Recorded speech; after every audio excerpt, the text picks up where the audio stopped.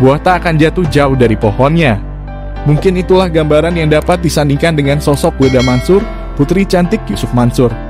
Betapa tidak anak dan bapak ini seolah tak pernah lepas dari berita kontroversi yang mereka buat sendiri. Nama Yusuf Mansur belakangan ramai diperbincangkan lantaran mencuatnya video lama dirinya ketika marah-marah sambari memukul meja.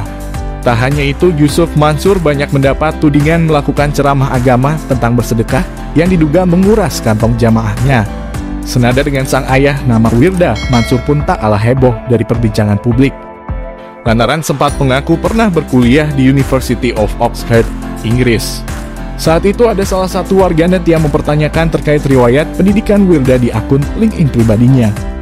Di sana bertuliskan bahwa ia adalah lulusan dari Universitas of Oxford setelah menuai berbagai reaksi dari warganet, Wirda Mansur akhirnya memberi klarifikasi. Dirinya memang sempat menempuh pendidikan di sana, namun tidak selesai. Tidak hanya di Universitas of Oxford, putri cantik dari Yusuf Mansur ini juga mengaku berkuliah di tiga universitas lainnya, yakni Raffles University, University of Buckingham, UOB, dan di Institut Darul Quran, Jakarta. Selain itu, kontroversi yang diciptaan sendiri oleh anak Ustadz ini adalah token kripto yang ia beri nama ICOIN. Dilansir dari situs resminya, ICOIN merupakan proyek cryptocurrency untuk menciptakan ekosistem besar dengan dukungan teknologi blockchain. Setidaknya ada tiga produk yang dibuat oleh ICOIN, yaitu ILAND, Metaverse, IBW, P2E Game, IMARKET, NFT Marketplace. Bukan tanpa alasan apa yang dilakukan oleh Wirda Mansur ini akhirnya menjadi kontroversi. Lantaran MUI secara tegas telah melarang dan menyatakan bahwa kripto adalah haram.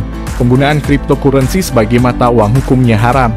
Karena mengandung harar, darar dan bertentangan dengan Undang Undang Nomor 7 Tahun 2011 dan Peraturan Bank Indonesia Nomor 17 Tahun 2015 tulis MUI dalam fatwanya yang dikutip dari kompas.com. Dan yang baru-baru ini heboh di berbagai media sosial adalah pernyataan Wiril Mansur terkait video heboh Yusuf Mansur yang marah. Marah karena masalah internal Python.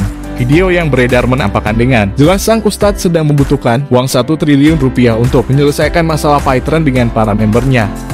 Namun Wirda Mansur muncul ke publik dengan mengatakan bahwa dulu saham Python sempat ditawar hingga 4 triliun rupiah.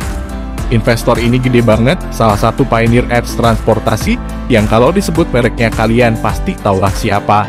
Dengan tema pembicaraan, Python pengen dibeli sahamnya sekian persen dengan angka 4 triliun rupiah. Dengan valuasi Python di tahun tersebut, 2018, ujar Wirda.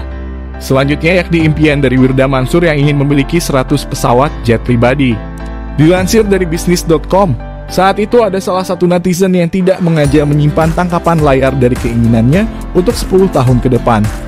Beberapa keinginan Wirda di antaranya yakni ingin menamatkan Quran sampai akar-akarnya, menghafal seribu hadits, dapat berbicara 20 bahasa, lulus Oxford terbaik, menjadi tamu kehormatan di White House. Selain itu, ia juga berkeinginan menjelajahi semua negara, memiliki omset perusahaan hingga 100 triliun, penghasilan 100 miliar sehari, memiliki rumah di atas 30 miliar, serta membeli 100 pesawat jet pribadi. Demikian pula yang bisa kami sampaikan kepada pemirsa semua.